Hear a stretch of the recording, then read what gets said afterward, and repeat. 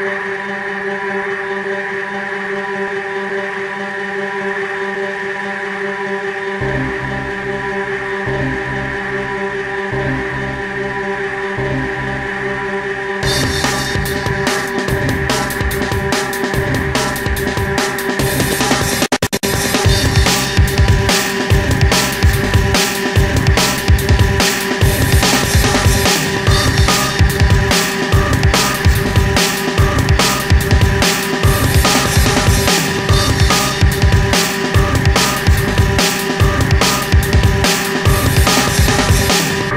quand même, c'est quelque chose. Un gros fric.